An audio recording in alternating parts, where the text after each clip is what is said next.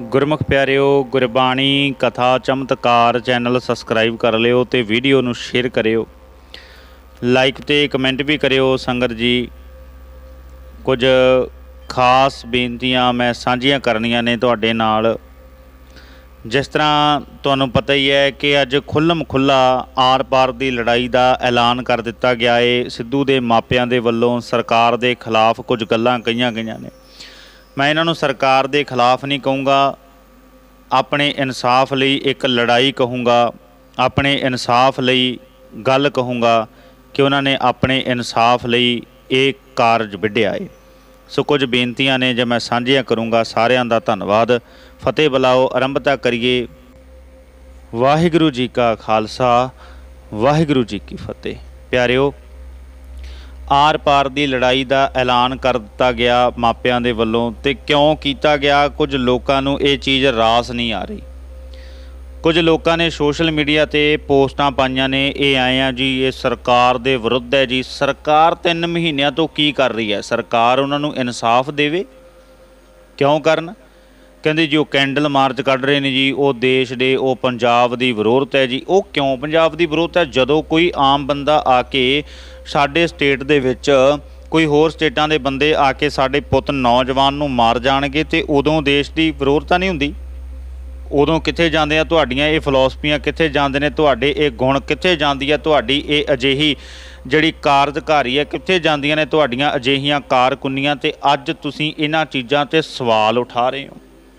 ਅੱਜ ਤੁਸੀਂ ਇਹਨਾਂ ਚੀਜ਼ਾਂ ਦੇ ਖਿਲਾਫ ਕਿਉਂ, ਅੱਜ ਤੁਸੀਂ ਇਹਨਾਂ ਚੀਜ਼ਾਂ ਨੂੰ ਕਿਉਂ ਨਹੀਂ ਰੋਕ ਰਹੇ? ਕਿਉਂ ਇਹਨਾਂ ਚੀਜ਼ਾਂ ਦੇ ਨਾਲ ਜੁੜਦੇ ਜਾ ਰਹੇ ਹੋ? ਇੱਕੋ ਗੱਲ ਮੈਂ ਕਹਿਣੀ ਚਾਹਾਂਗਾ, ਇੱਕੋ ਬੇਨਤੀ ਕਰਾਂਗਾ। ਸਿੱਧੂ ਦੇ ਪਿਤਾ ਨੇ ਦੱਸਿਆ ਕਿ ਉਹ ਆਈਸੀਯੂ ਦੇ ਵਿੱਚ ਇਸ ਕਾਰਨ ਕਰਕੇ ਬੇਹੋਸ਼ ਹੋ ਕੇ ਡਿੱਗ ਗਿਆ ਸੀ। ਕਾਰਨ ਕੀ ਸੀ?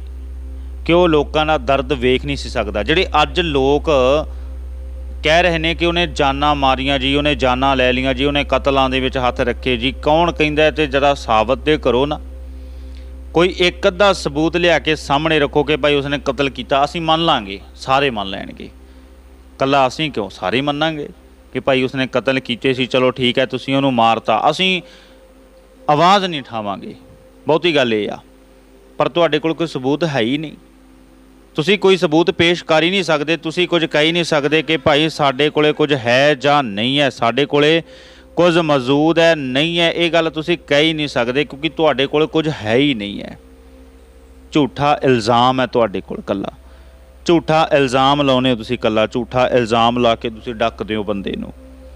ਪਰ ਅਸਲ ਦੇ ਵਿੱਚ ਇੱਕ ਬੇਨਤੀ ਕਰਾਂਗਾ ਕਿ ਜਿਹੜਾ ਨੌਜਵਾਨ ਕਿਸੇ ਦਾ ਦੁੱਖ ਨਹੀਂ ਦੇਖ ਸਕਦਾ, ਜਿਹੜਾ ਨੌਜਵਾਨ ਕਿਸੇ ਦੇ ਅੱਗੇ ਆਪਣਾ ਪੱਖ ਰੱਖਦਾ ਇਹ ਕਹਿੰਦਾ ਕਿ ਮੈਂ ਕਿਸੇ ਦਾ ਦੁੱਖ ਨਹੀਂ ਦੇ ਸਕਦਾ, ਉਹਦੇ ਅੱਗੇ ਪੈਸੇ ਵੀ ਰੱਖਦਾ ਉਹਦਾ ਦੁੱਖ ਵੰਡਾਉਣ ਦੀ ਕੋਸ਼ਿਸ਼ ਕਰਦਾ ਉਹ ਕਿਸੇ ਦੀ ਜਾਨ ਕਿਵੇਂ ਲੈ ਸਕਦਾ ਸਿੱਧੂ ਦਾ ਪਿਤਾ ਇਹ ਅੱਜ ਗੱਲ ਕਹਿ ਰਿਹਾ, ਕਹਿੰਦਾ ਮੇਰੇ ਨਾਲ ਇੱਕ ਵਾਰੀ ਆਈਸੀਯੂ ਦੇ ਵਿੱਚ ਗਿਆ, ਚੰਡੀਗੜ੍ਹ ਦੇ ਵਿੱਚ ਪੀਜੀਆਈ ਦੇ ਵਿੱਚ। ਉੱਥੇ ਜਾ ਕੇ ਕਹਿੰਦਾ ਉਹ ਖੁਦ ਬੇਹੋਸ਼ ਹੋ ਕੇ ਡਿੱਗ ਗਿਆ। ਲੋਕਾਂ ਦੀ ਹਾਲਤ ਵੇਖ ਕੇ ਵੀ ਅਜਿਹੇ ਲੋਕ ਜਿਨ੍ਹਾਂ ਦੀ ਹਾਲਤ ਇੰਨੀ ਗੰਭੀਰ ਹੈ, ਦੁੱਖ ਨਹੀਂ ਸੀ ਕਿਸੇ ਦਾ ਦੇਖ ਸਕਦਾ। ਪਰ ਅੱਜ ਉਹਦੀ ਮੌਤ ਦੇ ਉੱਪਰ ਕੁਝ ਲੋਕਾਂ ਨੇ ਰੱਜ ਕੇ ਰਾਜਨੀਤੀ ਕੀਤੀ, ਸਿਆਸਤ ਖੇਡੀ, ਕੁਝ ਲੋਕਾਂ ਨੇ ਰੱਜ ਕੇ ਬਿਆਨਬਾਜ਼ੀਆਂ ਕੀਤੀਆਂ ਨੇ, ਅੱਜ ਉਹਦੇ ਮਾਤਾ-ਪਿਤਾ ਦੇ ਖਿਲਾਫ ਕਰ ਰਹੇ ਨੇ। ਉਹ ਆਏ ਆ ਜੀ, ਉਹ ਫਲਾਣਾ ਜੀ, ਉਹ ਟਿਕੜਾ ਜੀ, ਉਹ ਉਹ ਐਂ ਕਰਨ ਜਾ ਰਹੇ ਨੇ, ਉਹ ਕੈਂਡਲ ਮਾਰਚ ਕੱਢਣ ਜਾ ਰਹੇ ਨੇ, ਜੋ ਸਹੀ ਨਹੀਂ ਹੈ, ਸਰਕਾਰ ਦੇ ਵਿਰੁੱਧ ਲੜਾਈ ਸਹੀ ਨਹੀਂ ਹੈ, ਸਰਕਾਰ ਉਹਨਾਂ ਨੂੰ ਮਰਵਾ ਦੂਗੀ, ਐਂ ਕਰ ਦੂਗੀ। ਉਹ ਹੁਣ ਵੀ ਤੇ ਪਲ-ਪਲ ਕਰਕੇ ਮਾਰੀ ਰਹੇ ਨੇ, ਜਿੱਥੇ ਉਹਨਾਂ ਦਾ ਪੁੱਤ ਮਰਵਾਤਾ, ਉਹਨਾਂ ਨੂੰ ਮਰਵਾ ਦੇਗੀ, ਗੱਲ ਕੌਣ ਹੈ? ਇਹ ਮੁਰਦਿਆਂ ਦਾ ਦੇਸ਼ ਹੈ, ਇੱਥੇ ਕਿਹੜਾ ਕਿਸੇ ਨੇ ਬੋਲਣਾ ਹੈ? ਕੋਈ ਨਹੀਂ ਬੋਲਦਾ ਇੱਥੇ। ਇਹ ਆਪਣੇ ਤੇ ਜ਼ੁਲਮ ਸਹਿ ਲੈਣਗੇ। ਅੰਗਰੇਜ਼ਾਂ ਦਾ ਜ਼ੁਲਮ ਸਿਹਾ ਤਾਂ ਹੀ 100 ਸਾਲ ਤੱਕ ਰਾਜ ਕਰ ਗਏ। ਇੱਕ ਸਦੀ ਰਾਜ ਕੀਤਾ ਸਾਡੇ ਤੇ ਅੰਗਰੇਜ਼ਾਂ ਨੇ। ਕਿਉਂਕਿ ਅਸੀਂ ਬੋਲੇ ਨਹੀਂ। ਜਦੋਂ ਅੰਗਰੇਜ਼ ਗਏ ਜਾਂਦੇ ਜਾਂਦੇ ਸਾਡੇ ਦੇਸ਼ ਨੂੰ ਵੱਖ ਕਰ ਗਏ। ਇੱਕ ਗੱਲ ਕਦੇ ਨੋਟ ਕਰ ਲਿਓ।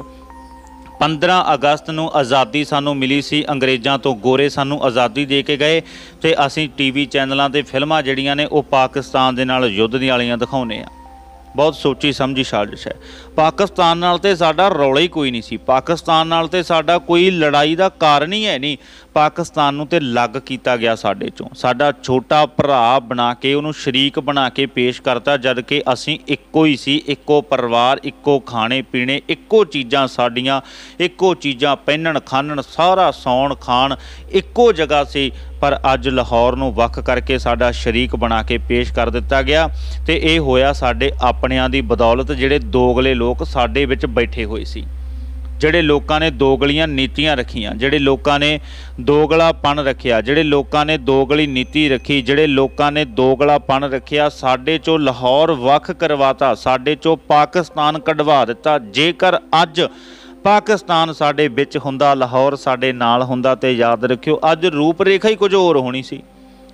ਅੱਜ ਕੁਝ ਹੋਰ ਹੋਣਾ ਸੀ ਮਾਹੌਲ, ਪਰ ਸਾਡੇ ਲੋਕਾਂ ਨੇ ਗੱਦਾਰੀ ਕੀਤੀ, ਇਹਨਾਂ ਨੇ ਲਾਹੌਰ ਵੱਖ ਕਢਵਾਤਾ, ਪਹਿਲਾਂ ਹੀ ਵੱਖ ਕਰਵਾਤਾ ਲਾਹੌਰ ਸਾਡੇ ਤੋਂ। ਵੱਖ ਕਰਵਾਤਾ ਲਾਹੌਰ, ਐ ਨਹੀਂ ਹੁੰਦਾ ਜੀ, ਫਲਾਣਾ ਨਹੀਂ ਹੁੰਦਾ ਜੀ, ਟਿਕੜਾ ਨਹੀਂ ਹੁੰਦਾ ਜੀ, ਇਹ ਸਾਡੇ ਲੋਕਾਂ ਦੀਆਂ ਕਾਰਜਕਾਰੀਆਂ ਕਰਕੇ ਹੋਇਆ, ਮਾੜੀਆਂ ਨੀਤੀਆਂ ਕਰਕੇ ਹੋਇਆ ਸਾਡੇ ਲੋਕਾਂ ਦੀਆਂ। ਖੈਰ, ਇੱਕੋ ਬੇਨਤੀ ਕਰਾਂਗਾ ਕਿ ਕੁਝ ਲੋਕ ਦੋਗਲੇ ਸੀ ਜਿਨ੍ਹਾਂ ਨੇ ਪੰਜਾਬ ਨੂੰ ਵੰਡ ਕੇ ਰੱਖਦਾ ਤੇ ਅੰਗਰੇਜ਼ ਸਾਡੇ ਤੇ ਰਾਜ ਕਰ ਗਏ ਦੋਗਲਿਆਂ ਦੀ ਨੀਤੀ ਕਾਰਨ। ਅਸੀਂ ਲੋਕ ਗੁੰਗੇ ਆ, ਅਸੀਂ ਮੁਰਦੇ ਆ, ਅਸੀਂ ਬੋਲ ਨਹੀਂ ਸਕਦੇ, ਆਪਣਾ ਇਨਸਾਫ ਨਹੀਂ ਲੈ ਸਕਦੇ। ਜਦੋਂ ਗੋਰੇ ਵੱਖ ਕਰ ਰਹੇ ਸੀ ਪਾਕਿਸਤਾਨ ਨੂੰ, ਅਸੀਂ ਉਦੋਂ ਨਹੀਂ ਬੋਲੇ। ਜਦੋਂ ਸਾਡੇ ਦੇ ਵਿੱਚੋਂ ਹਿਮਾਚਲ ਨੂੰ ਅਲੱਗ ਕਰ ਦਿੱਤਾ, ਅਸੀਂ ਉਦੋਂ ਨਹੀਂ ਬੋਲੇ। ਹਰਿਆਣੇ ਨੂੰ ਵੱਖ ਕੱਢ ਦਿੱਤਾ, ਪੰਜਾਬ 'ਚੋਂ ਅਸੀਂ ਉਦੋਂ ਨਹੀਂ ਬੋਲੇ। ਉਂਝ ਅਸੀਂ ਕਹਿੰਦੇ ਆ, ਰਾਜ ਕਰੇਗਾ ਖਾਲਸਾ। ਉਂਝ ਅਸੀਂ ਕਹਿੰਦੇ ਹਾਂ ਜੀ, ਫਲਾਣੀ ਪਾਰਟੀ ਜਿੰਦਾਬਾਦ। ਆਪਣੀਆਂ ਪਾਰਟੀਆਂ ਨੂੰ ਪੁੱਛੋ ਤੇ ਸਹੀ ਵੀ ਤੁਸੀਂ ਦਿੱਤਾ ਕੀ ਹੈ ਪੰਜਾਬ ਨੂੰ। ਉਜਾੜਿਆ ਹੀ ਹੈ ਪੰਜਾਬ ਨੂੰ ਹੁਣ ਤੱਕ ਉਜਾੜੇ ਹੀ ਕੀਤਾ ਪੰਜਾਬ ਦਾ।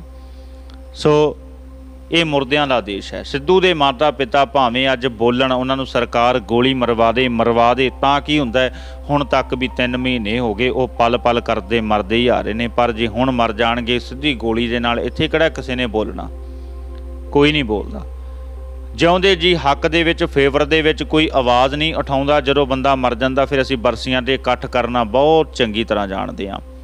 ਅਸੀਂ ਬਰਸੀਆਂ ਤੇ ਇਕੱਠ ਕਰ ਲੈਂਦੇ ਹਾਂ। ਦੋ ਸ਼ਬਦ ਸ਼ਰਦਾ ਦੇ ਵੀ ਬੋਲ ਦਿੰਨੇ ਆ ਸ਼ਰਦਾ ਦੇ ਫੁੱਲ ਭੇਟ ਕਰ ਦਿੰਨੇ ਆ ਬਹੁਤ ਚੰਗਾ ਸੀਗਾ ਜੀ। ਇਹਨੇ ਬਹੁਤ ਚੰਗੇ ਕੰਮ ਕੀਤੇ। ਨੇ ਫਲਾਣਾ ਕੀਤਾ ਜੀ ਨੇ ਟਿਕੜਾ ਕੀਤਾ ਜੀ ਨੇ ਐ ਕੀਤਾ ਨੇ ਯੋਂ ਕੀਤਾ। ਫਿਰ ਅਸੀਂ ਬਹੁਤ ਸੋਹਣਾ, ਚੰਗਾ ਵੀ ਬੋਲ ਲੈਂਦੇ ਆ ਉਂਝ ਨਹੀਂ ਸਾਡੇ ਤੋਂ ਬੋਲਿਆ ਜਾਂਦਾ। ਉਂਝ ਨਹੀਂ ਅਸੀਂ ਬੋਲ ਸਕਦੇ। ਉਂਝ ਸਾਡੇ ਵਿੱਚ ਹਿੰਮਤ ਹੀ ਹੈ ਨਹੀਂ। ਉਂਝ ਸਾਡੇ ਵਿੱਚ ਹੈ ਹੀ ਨਹੀਂ ਕੋਈ ਗੱਲਬਾਤ ਵੀ ਅਸੀਂ ਬੋਲ ਸਕੀਏ। ਉਂਝ ਅਸੀਂ ਬੋਲ ਨਹੀਂ ਸਕਦੇ। ਉਂਝ ਸਾਡੇ ਵਿੱਚ ਸਾਰੀਆਂ ਗੱਲਾਂ ਖਤਮ ਹੋ ਗਈਆਂ। ਇੱਕੋ ਬੇਨਤੀ ਕਰਾਂਗਾ ਪਿਆਰਿਓ, ਅੱਜ ਉਸ ਮਾਂ-ਬਾਪ ਦਾ ਸਾਥ ਦੇਣ ਦੀ ਲੋੜ ਹੈ। ਜਿਹੜੇ ਲੋਕ ਰਾਜਨੀਤੀ ਕਰ ਰਹੇ ਨੇ, ਇਹ ਰਾਜਨੀਤੀ ਕਰਨ ਦਾ ਸਮਾਂ ਨਹੀਂ। ਉਹਨਾਂ ਮਾਂ-ਬਾਪ ਦੇ ਦੁੱਖ ਦਰਦ ਤੇ ਰਾਜਨੀਤੀ ਕੀਤੀ ਤੇ ਕਾਦੀ ਕੀਤੀ? ਉਹਨਾਂ ਮਾਂ-ਬਾਪ ਦੇ ਦੁੱਖ ਤੇ ਅਸੀਂ ਰਾਜਨੀਤੀ ਕਰਾਂਗੇ ਤੇ ਯਾਦ ਰੱਖਿਓ ਕੱਲ ਨੂੰ ਰੱਬ ਨਾ ਕਰੇ, ਜੇ ਸਾਡੇ ਤੇ ਅਜਿਹਾ ਸਮਾਂ ਪੈ ਜੇ ਤੇ ਸਾਨੂੰ ਕੌਣ ਸੰਗੀਲੇਗਾ ਇਹ ਗੱਲ ਯਾਦ ਰੱਖਿਓ। ਸੋ ਇੰਨੀਆਂ ਕੋ ਬੇਨਤੀਆਂ ਮੈਂ ਕਰਨੀਆਂ ਚਾਹੁੰਦਾ ਸੀ, ਯਾਦ ਰੱਖਿਓ, ਅਸੀਂ ਗੁਲਾਮ ਨਹੀਂ ਆ ਅਸੀਂ ਆਜ਼ਾਦ ਆ ਆਵਾਜ਼ ਉਠਾ ਸਕਦੇ ਆ ਆਵਾਜ਼ ਉਠਾਵਾਂਗੇ ਤੇ ਹੱਕ ਮਿਲਦੇ ਵੀ ਜ਼ਰੂਰ ਨੇ, ਇਹ ਗੱਲ ਯਾਦ ਰੱਖਿਓ। ਸੋ ਇੰਨੀਆਂ ਕੋ ਬੇਨਤੀਆਂ ਪ੍ਰਵਾਨ ਕਰਿਓ ਜੀ, ਵਾਹਿਗੁਰੂ ਜੀ ਕਾ ਖਾਲਸਾ, ਵਾਹਿਗੁਰੂ ਜੀ ਕੀ ਫਤਿਹ।